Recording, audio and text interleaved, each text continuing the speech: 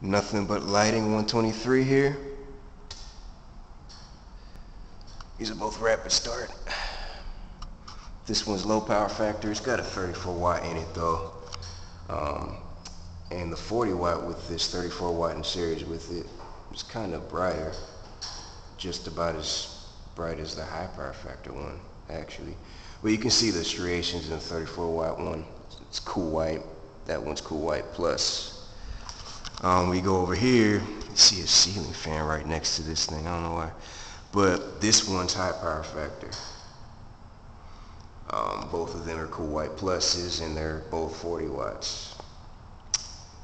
Um, now this one has a defective ballast, like the lead, um, the lead side for some reason refuses to light when it's starting up. It's kind of hard to explain.